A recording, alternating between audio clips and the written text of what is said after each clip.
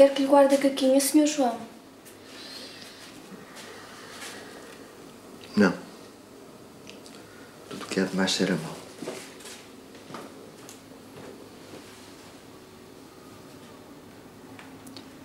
Um mover de olhos brando e piedoso, sem ver de quê. Um riso brando e honesto, quase forçado. Um doce e humilde gesto de qualquer alegria duvidoso. Um despejo quieto e vergonhoso.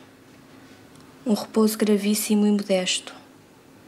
Uma pura bondade, manifesto indício da alma, limpo e gracioso. Um encolhido ousar. Uma brandura um medo sem ter culpa, um ar sereno, um longo e obediente sofrimento. Esta foi a celeste formosura da minha Circe e o mágico veneno que pôde transformar meu pensamento.